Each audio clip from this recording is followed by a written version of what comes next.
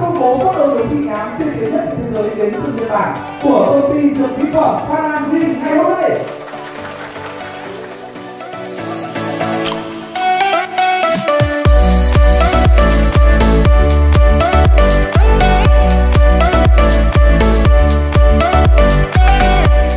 À, khi sử dụng melasma thì ờ, tôi cảm thấy là là một sản phẩm mà cái điều đầu tiên ờ, tôi cảm nhận được đó là nó đào thải độc tố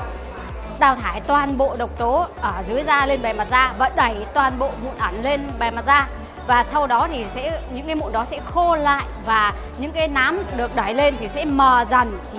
À, cái melasma này sẽ là một cái tiếng vang lớn trong cái ngành điều trị nám. Tại vì à, à, trước đây với cái thâm niên mà về à, các sản phẩm chăm sóc da các sản phẩm à, điều trị nám thì à, nó rất là mắc nhưng mà so với à, Medasma Green 21 thì hoàn toàn nó không có được những cái ưu điểm như Medasma Green 21 và chắc chắn với cái sự đánh giá của Yến thì Melasma Green 21 sẽ là một cái sản phẩm đi đầu thị trường và sẽ chiếm lĩnh thị trường à, làm đẹp rất là lớn, nhất là trong cái ngành spa.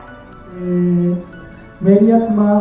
Green 21研究者からの勧めですけども、これはですね、メラニンサイトのメラニンの色を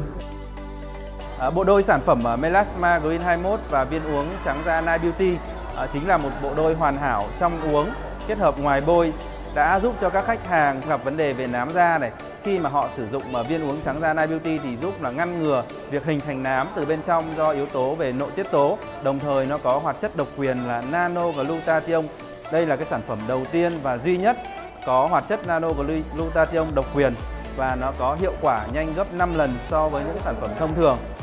私たちはこれからベトナムの